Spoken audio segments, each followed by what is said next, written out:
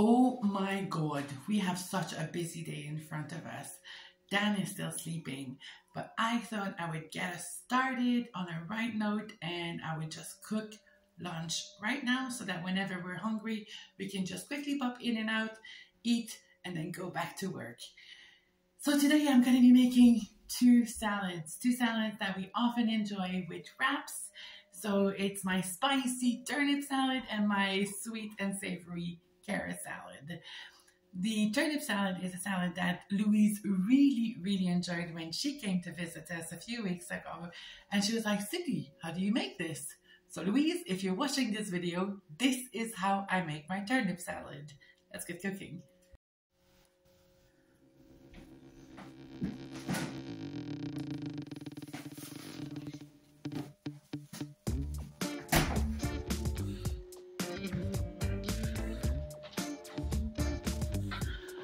Okay, so right in front of me, I have five beautiful Nabos turnips. I'm going to be peeling them and slicing them thinly. Now, most people would use a mandolin for this step, and if you have one, you can absolutely do that. I've grown accustomed with time just to use my little cheese slicer here and then it just makes really fine thin slice and this is what you want to have. So whether you use a mandolin, a cheese slicer, or if you go through the painstaking process of cutting your turnip really, really thinly, it's gonna work anyway. So let's get peeling.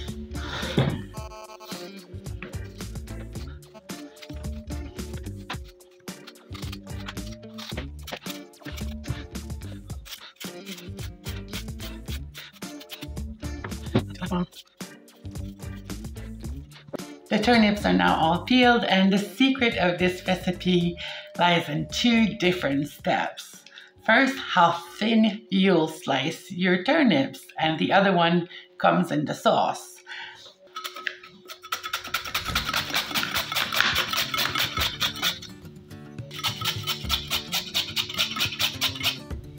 Now because this is a cured turnip salad. I can start like curing my turnips right now, although I'm not done thinly slicing the rest of the turnip. What I do have is a bunch of turnip that can start cooking in the salt. So don't be shocked by the amount of salt that you'll see next. All of this will be rinsed out. It's only used in the curing process. Get ready.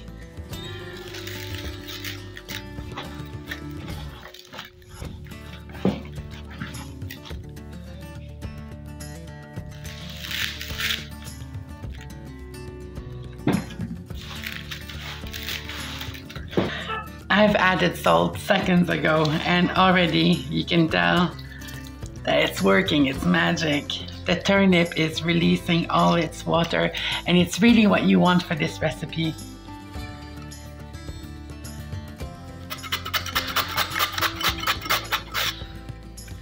You can really tell like water is coming out.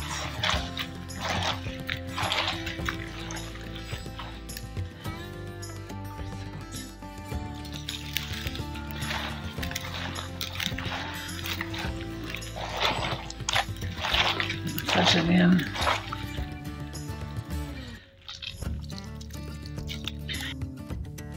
Now the next step is to grate garlic.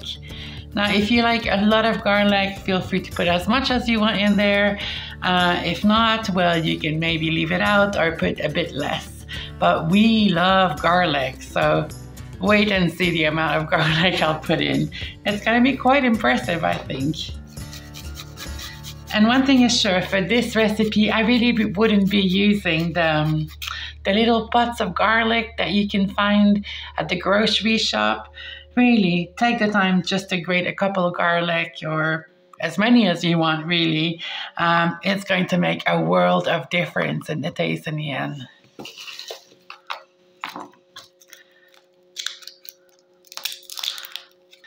Next up, lemon. What you want to do is squeeze one or two uh, lemon and then you want to squeeze that over your garlic so that it starts cooking right away.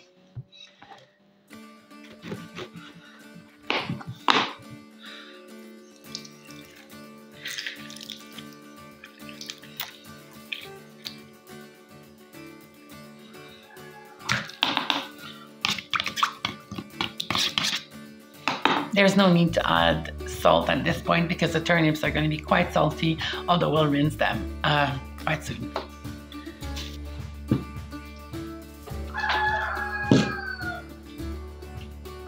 Okay, what do I have here? Cumin, good quality cumin, and a good quantity of cumin. For this recipe, I'll go for a full tablespoon in there, or a teaspoon. Mix it up. Now, usually what I put in there is harissa, which is a Moroccan spicy base but I can't find it here in Portugal. So instead what I'm doing or using is just those normal little chili and I just just add as many as I like it. Um, I like this salad to be quite spicy and so does Dan, so quite generous on this one, but just feel free to add as much or as little as you want. Chili.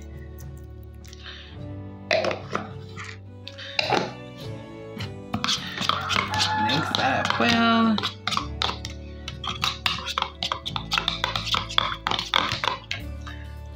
olive oil.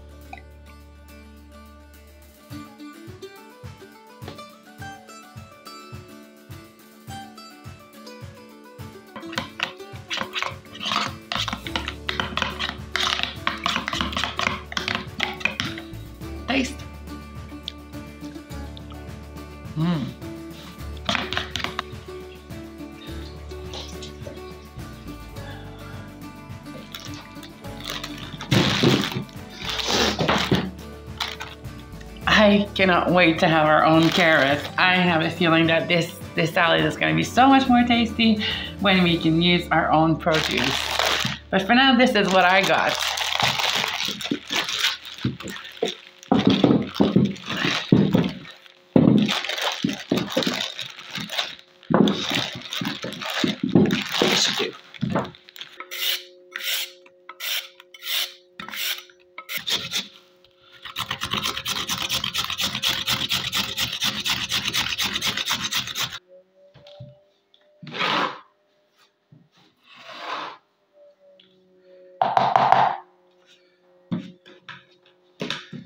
That's really hard to give you exact quantities because I'm eyeballing just about every dish that I cook. But right here, I've got dates and I'm going to be chopping them finely and adding them to the carrots. So if you like dates a lot, then put a lot of them in there. If you don't, then you don't have to put any. I also have sultana, raisins, and I'm going to be adding them to my carrot mix.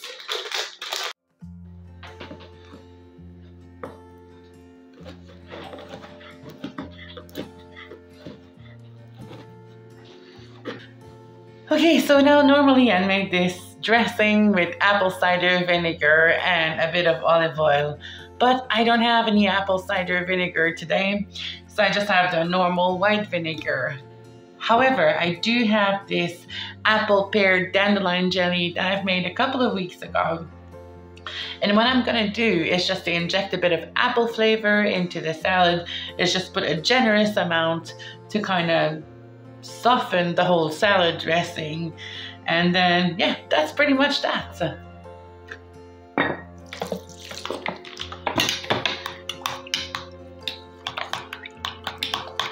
If you don't have any apple, pear, and dandelion jelly, no worries. You can also use some honey if you wish.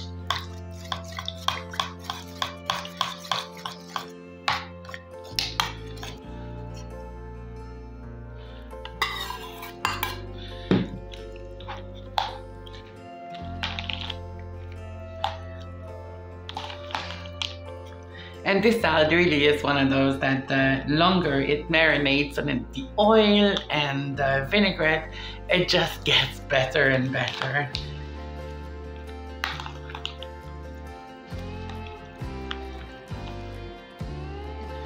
Now back to the turnip salad. The reason why I often make these salads together as a combo, because the turnip needs quite a bit of time just to expel all the water.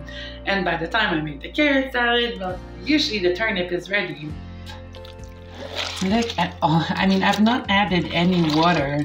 This is just the water being expelled from the turnip. So, and they become kind of translucent and very pliable. If that makes any sense.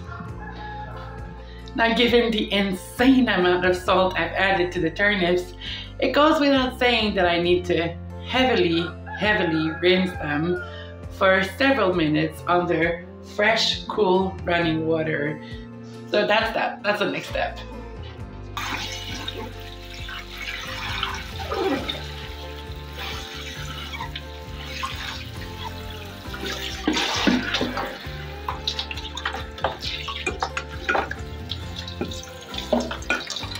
And just to give you an idea, just look how almost transparent the turnips are.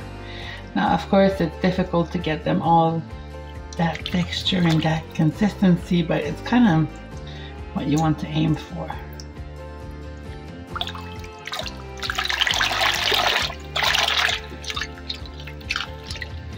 Squeeze, squeeze, and squeeze to release as much of the salt as possible.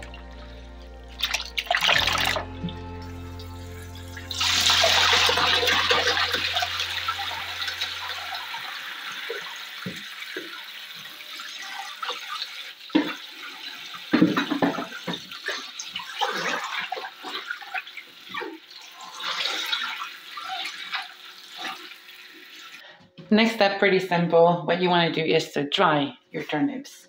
So I've got a clean dishcloth. Just going to chuck everything in. Trying to like that.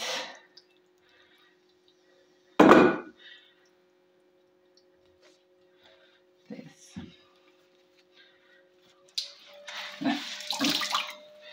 Still squeeze.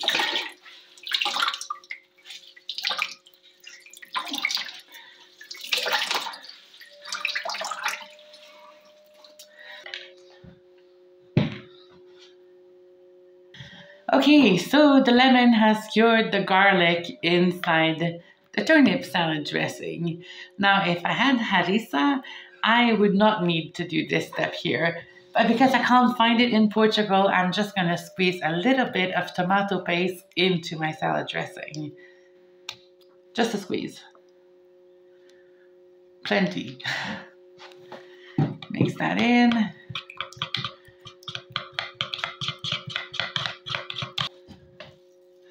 And I really want to try to make sure that all my little turnip pieces are not stick together. So that too is a pretty important step. Okay. That. Add the dressing.